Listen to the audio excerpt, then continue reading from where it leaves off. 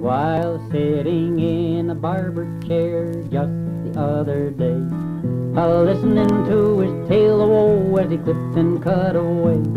He swore he would pack up his goods and seek some better place where people live who cut their hair and shave their whiskered face.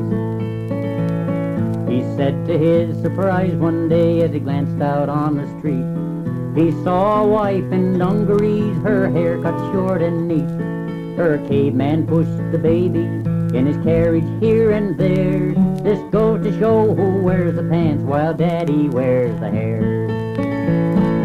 Go to the barber boy, he's a waiting by his chair. Go to the barber and let him cut your hair.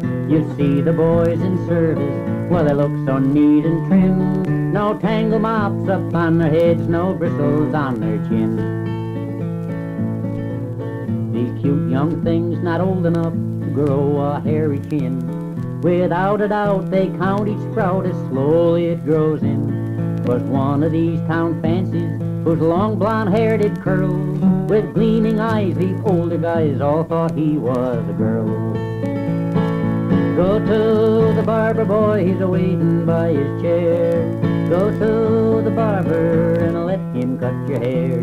You see the boys in service, well they look so neat and trim. No tangle mops up on their heads, no bristles on their chin. The other day my wife and I went to the opera house. Was advertised a talent play, some outfit from the south.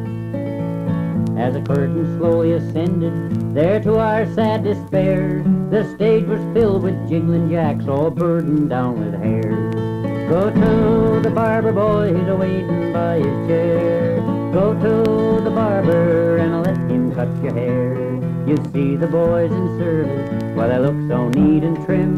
No tangle mops up on their heads, no bristles on their chin.